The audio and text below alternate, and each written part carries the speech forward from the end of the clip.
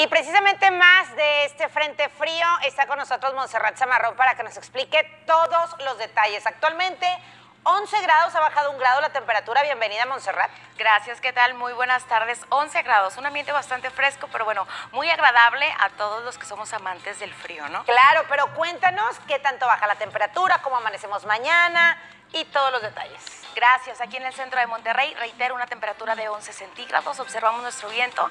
Ha estado en calma. Estamos manejando 11 kilómetros por hora. La humedad sí es algo elevada. Tenemos un 59% al momento. La presión atmosférica marcando 1025 milibares y el pronóstico precipitación para lo que resta de toda esta jornada tenemos alrededor de un 10%. Ahora veamos muchísimo más a detalle lo que ya hablábamos hace un momento sobre la calidad del aire. Son pocos puntos que reflejan súper mala calidad del aire, por cierto, el municipio de San Pedro, también San Nicolás con mala calidad del aire, eh, buena calidad del aire, sobre todo para el municipio de Santiago, Juárez, el obispado, para toda la gente que nos ve en el obispado, un saludo muy especial y una calidad regular para Cadereyta, Santa Catarina, Escobedo. Ahora veamos más a detalle nuestro pronóstico extendido para los siguientes cuatro días de la semana para que, bueno, pues organice prácticamente todas sus actividades.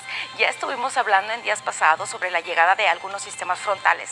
Actualmente nos acompaña uno aquí en gran parte del noreste de la República Mexicana. Es por eso que nuestras temperaturas se ven algo repercutidas, sobre todo en las temperaturas al amanecer. Así es, este próximo viernes esperamos un cielo completamente despejado, ya con un pronóstico a precipitación, excelentes noticias, un panorama alrededor de un 25%, nuestra mínima 10 centígrados con máxima de 14. Ayer manejábamos una temperatura de 8 centígrados al amanecer, ha subido un poquito, se repone nuestro termómetro.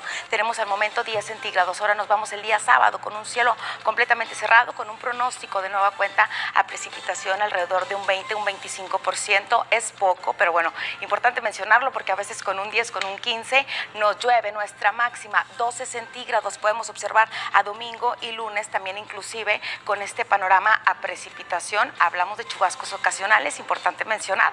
Hasta el momento no hablamos de lluvias generalizadas para gran parte de los puntos del área metropolitana. Podemos observar nuestra temperatura temperatura mínima será de 7 centígrados para este próximo domingo familiar, máxima de 11 y veamos que iniciamos la siguiente semana laboral también con una temperatura muy fresca por la mañana, así que considéralo a la hora de llevar los pequeñitos a la escuela. 7 centígrados con máximas de 13 y el panorama sigue siendo el mismo en cuanto a precipitaciones, de un 20 a un 25%. ¿A qué se debe todo esto? Lo que ya mencionábamos en un inicio, este sistema frontal, que para ser más exacta es el número 9 de la temporada, arrasa, bueno, paralelamente sobre los estados del noreste de la República Mexicana, inclusive ahorita se queda pausado y ya con características de estacionario sobre el Golfo de México, generando algo de, precipitaciones y viento elevado para gran parte del oriente, el sur y sureste de la República Mexicana. Podemos observar especialmente el interior de la península de Yucatán, inclusive también el istmo y Golfo de Tehuantepec con algo de lluvias generalizadas.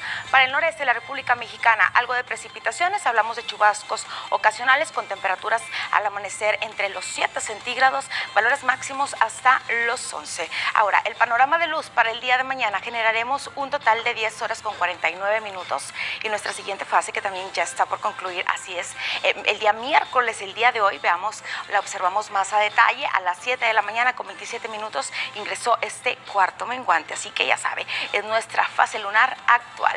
Hasta aquí mi reporte, Carla, continuamos con más. Acompáñeme a ver esto.